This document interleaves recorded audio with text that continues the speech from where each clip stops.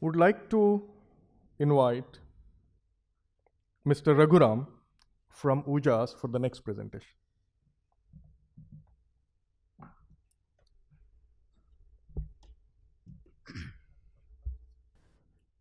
Good afternoon, uh, ladies and gentlemen. I'm uh, Lieutenant Colonel Raghuram. I'm from Ujaas Energy Limited. We are based in Indore. Uh, I had prepared a longish presentation, uh, you know, but most of the uh, issues that I wanted to flag uh, have been discussed discussed in detail in the first and second session. So uh, I'll be spending the next four to five minutes introducing uh, the company I represent. So I'm looking after the execution of all the rooftop projects, commercial as well as residential. Ujaas uh, basically our uh, first solar park uh, got commissioned in 2012, and uh, thereafter, in a span of uh, uh, around four years, we finished about 150 megawatts, and right now we are in the pipeline of completing 265 uh, megawatts by end of this financial year. Our residential rooftop business started early this year, around Feb. Uh, so as you can see, we are uh, spread across the country. Of course, uh, not in Karnataka like most of the companies uh, in the first two sessions. Uh, we are also, uh, you know, quite involved in Andamans in a big way. Our growth has been quite steady, and that is one of the strengths. We take pride in our sound financial um, backup. Uh, this is one of uh, these are some of the laurels that we have to our credit. We are uh, the first to in- install a megawatt level uh, plant in uh, MP. The first to operate a plant under REC mechanism.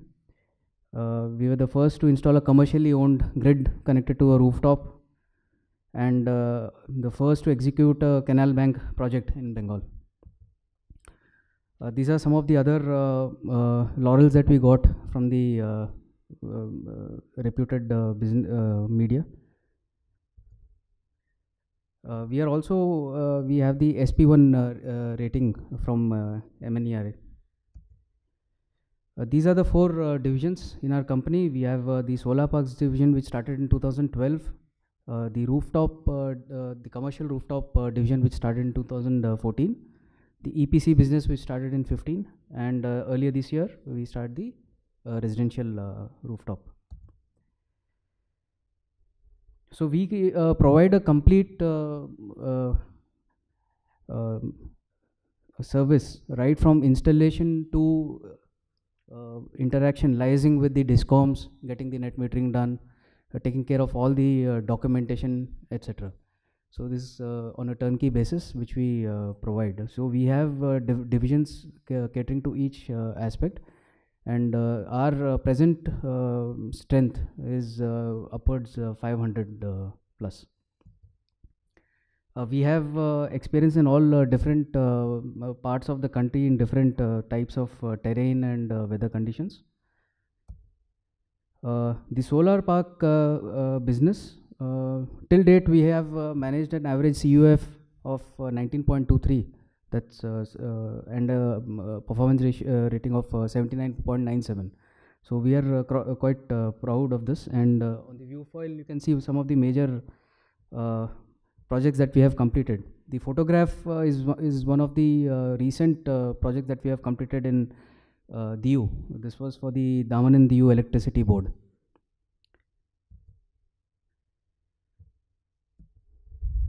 The EPC uh, uh, uh, division, uh, similarly, we have uh, achieved an average CUF of uh, 17.65. And uh, these are some of the major uh, projects that we have uh, just finished. Uh, one with uh, Hindustan Aeronautics, uh, we just finished a 15 megawatt uh, project. Uh, this was the uh, inauguration of the uh, project. The solar uh, rooftop uh, division, the commercial uh, rooftops, uh, we started off in 14, and uh, major chunk of our business uh, right as of now is in uh, NCR, UP, MP, and of course Rajasthan. Uh, the home solar segment, we are quite uh, enthusiastic about this uh, division. We started off in uh, Feb this year, and uh, we have uh, almost uh, reached 3 megawatt uh, capacity in terms of uh, installation.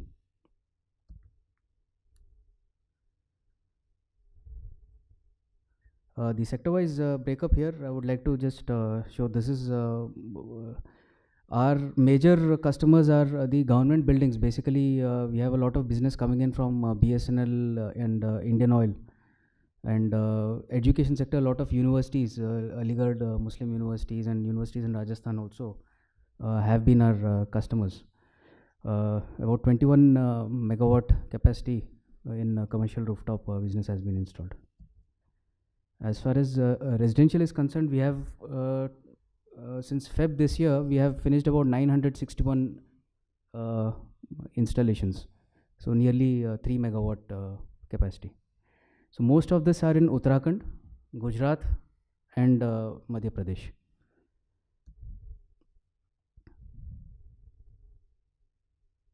So I'll just uh, skip through this. Uh, this is uh, another uh, thing uh, that I wanted to show uh, the net net metering uh, the- what the uh, the advantage of uh, ne- the uh, net metering is uh, these these are the actual customers whose uh, m- electricity bill has become zero after installing uh, their uh, uh, rooftop solar unit. The last July and August, if you see, the bill is zero. As far as O&M is concerned, we have a very large uh, uh, uh, strength who looks after our O&M requirements, and this is one of our key focus areas. And we practice a lot of uh, we use the latest uh, technology in terms of the IR guns and uh, such to carry out the periodic checks so any hotspot uh, detected, we replace or repair in time, you know, so that it doesn't cause uh, disruption. Uh, these are some of the recent uh, success stories, and uh, the list is quite long. Oil India, Indian Oil, uh, Nalco, BSNL, BSNL across a number of states, uh, Steel Plant, H- HEL, etc. Uh, thank you, ladies and gentlemen.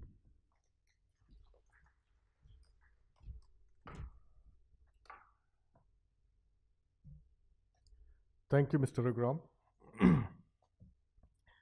I would like to invite our last presentation for this panel, Mr. Vineet Tyagi from Insolation Energy.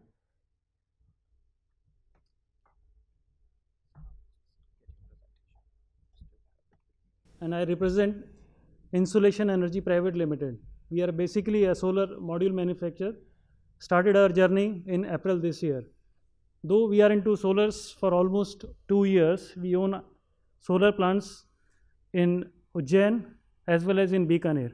But in manufacturing, we have recently ventured around six months back. So, uh, since morning, we have been discussing uh, many challenges. We have discussed many opportunities about solar we had a lot of discussion from uh, EPC players, developers, and a few of the presentation from module manufacturers like Sonali, and uh, in the morning from Goldie Green. So I will be uh, talking about the opportunities, challenges in the solar which we have been discussing since morning, but from the point of view of a manufacturers. So I will be looking at the things from my perspective. So I have structured my presentation into three parts. First part, I will take you through a brief introduction about insolation energy. Then we will discuss about the opportunities and the current scenario in the solar. Then I will try to link up these opportunities with the challenges what we are facing today. And finally, we will wrap it up with the remedial measures. So uh, this is the plant what we have uh, set up near Jaipur. It's a 60 megawatt uh, fully automatic facility on the outskirts of the Jaipur, and first of its kind in Rajasthan. And as you can see, with least manual intervention and continuous automatic process.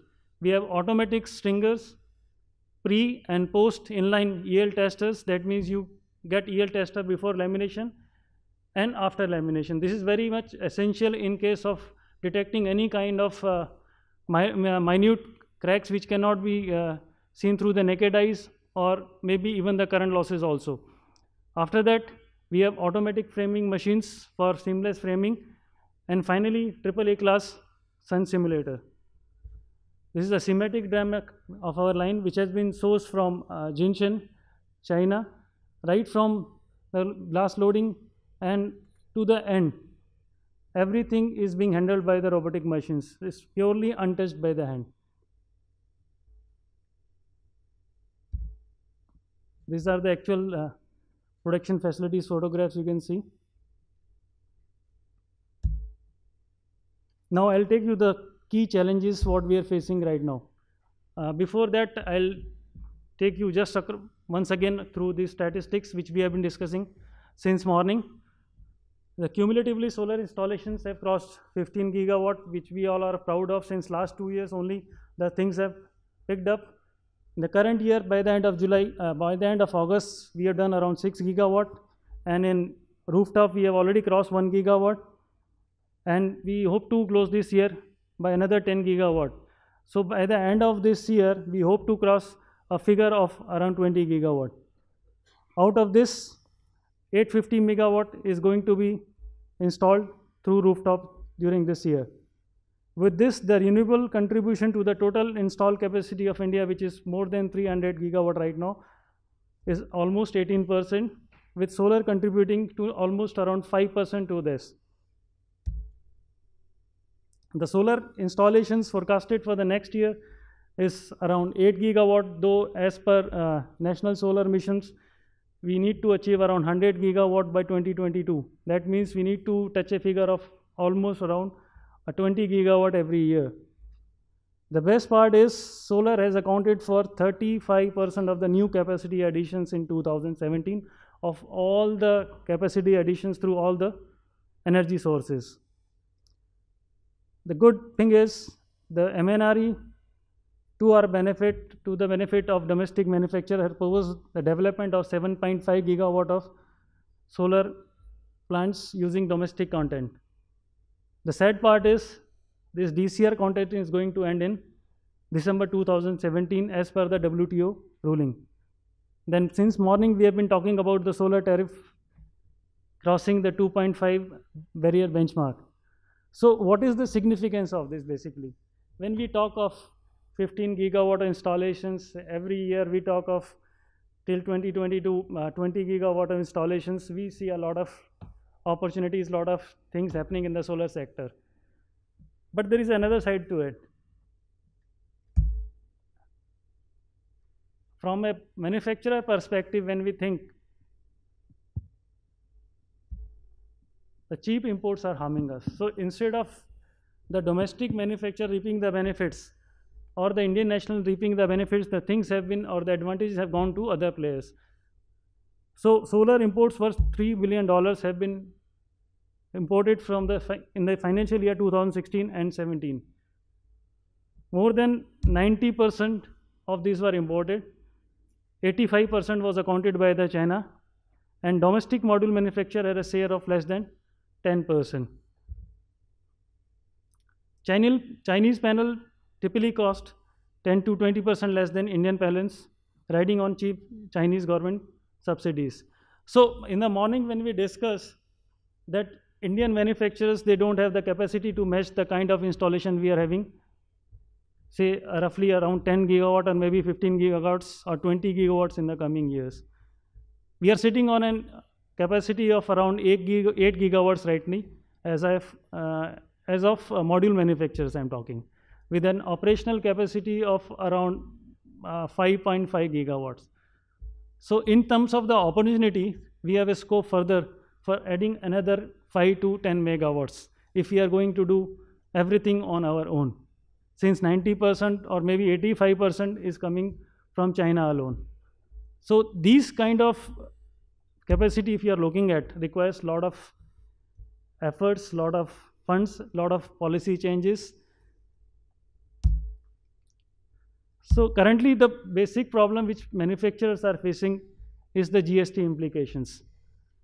GST which was implemented in the month of July, as you are aware in most of the states earlier, the solar were exempted, solar module in particular. Now it has been taxed at 5%. And if I took uh, look into solar as, as a whole, it varies from 5 to 28%.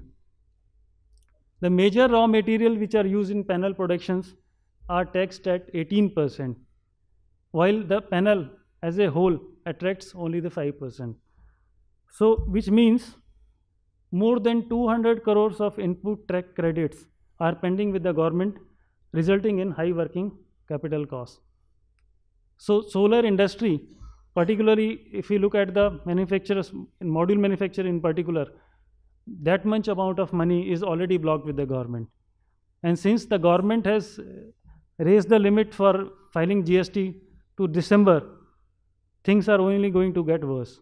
That means manufacturers are incurring high inventory carry cost, high working capital costs, which are ultimately going to pass on to the customer. So GST is one such applications. Then within this solar also we have seen same components which are used for different applications attract different slabs. For example, battery and inverters, if they are built or if they are clubbed with solar products, say module and all, they attract 5%. But on their own, if they sell alone, they attract 28% or maybe 18% for the inverters. So that anomaly has to be settled and addressed. Then on top of it, we have BIS norms coming the ministry in its notification has made BIS Act compulsory from 1st of January. Earlier it was decided to implement the order from September 2018 since this was uh, launched in uh, 2017. So one year grace period was given to switch over to BIS norm and to get the BS your product BIS registers. So within a gap of say uh, one and two months, the manufacturer has to get his product BIS approved. After 1st of January, they cannot sell their product. So already we have our products certified through IEC, TUV, UL, many other certifications which are required in some cases MNRE or maybe through NISE and all. Then within a gap of two months, you are shifting to another norms.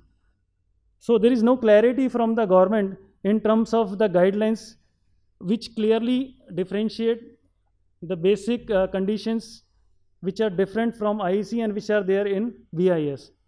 So there is no, there are no clear-cut guidelines or the draft lines which mention the difference between the two. If at all they are there, there are no benefits which are mentioned which will accrue to the manufacturers if we go on for BIS registration. Thirdly, these IEC certificates and all, each manufacturer spend lakhs of rupees on them and they are valid for five years.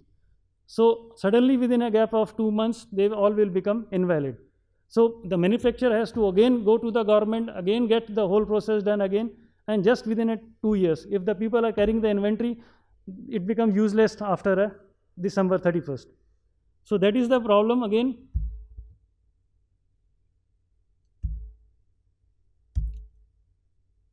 So thirdly, things are piling on one after another. First, we started with GST, then BIS norms, then anti-dumping duty is already in the pipeline. Though uh, developers and everybody in the morning I saw they were cribbing about it. Uh, there are two perspectives to it.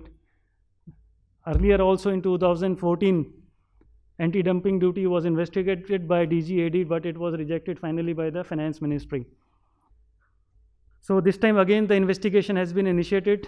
It will take around a year to come out with the some preliminary investigations and to come out with some duties if at all government decides to go for it. Then after that, it's on the discretion of the finance ministry to accept the recommendation of the commerce ministry. So for during this transition period, market again will be in the doldrums. So final ruling will be a tough balancing act between creating a market for domestic manufacturers and without killing the demand for solar power so that it's a win-win situation for each and everybody. So to wrap up, since the time is running short, I'll just like to mention the remedial measures which can take care of everybody in interest. So imposition of anti-dumping duties or safeguard duties against cheap imports will go a long way in helping the domestic manufacturers. Then, if the government really interested in setting up the domestic manufacturing base, they need to have a some special expensive package for setting up large domestic manufacturing base since there is a huge gap between demand and supply.